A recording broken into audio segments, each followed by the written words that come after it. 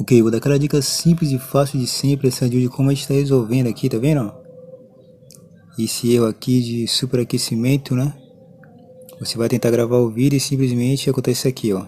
Em aparelho Xiaomi, né? Geralmente acontece imagem pouco F1 e outros aí, né? Você tenta gravar o vídeo, quando você menos espera ele simplesmente para, né? O vídeo no meio do caminho ali dá superaquecimento. Vou mostrar uma dica simples, bem simples, né? Nesses casos aí geralmente não é problema de hardware, né? É, é questão aí de simples de resolver, né? Eu vou mostrar pra você como você está resolvendo. Aqui eu vou sair aqui, vou voltar aqui, ó. A primeira dica, né? Eu vou mostrar uma forma simples de você resolver. A primeira dica é essa aqui, ó. Tem pessoas que fazem isso, né? Que faz isso aqui, ó. Pode resolver no seu caso. Você vem aqui, tá vendo aqui, ó? Vídeo, ó. Uma dica, né? Aqui, ó. Muda aqui, tá vendo aqui? Tá em 4K, 60 FPS. Ali tá 4K, 30 FPS. Aqui, tá vendo? Vai baixando, ó. E você deixa aqui, ó. Você deixa nessa, nessa configuração aqui, pode ser que resolva, né? Você faz o teste, né? Se não resolver, você tentar decidir que não resolver, a forma de você resolver é que eu vou mostrar aqui, ó. Tem pessoa que faz isso aqui também, ó. Segura aqui, ó. Né? E limpa lá o cache, né? Às vezes resolve, outros, outros não, né? Vou mostrar aqui, abrir aqui pra vocês. A forma que eu resolvi foi essa aqui, ó.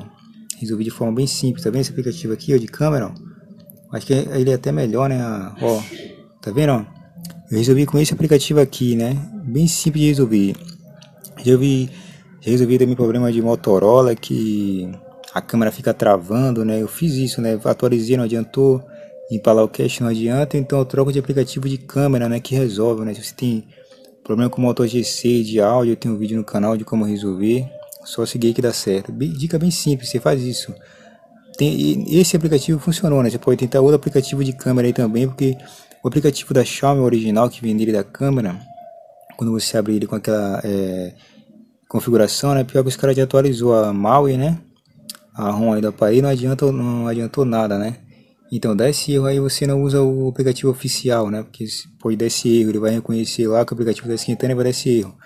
Então, você usa outro aplicativo de câmera que dá certo, né? Segue a dica passo a passo aí que não tem erro, né? Fé em Deus e vai.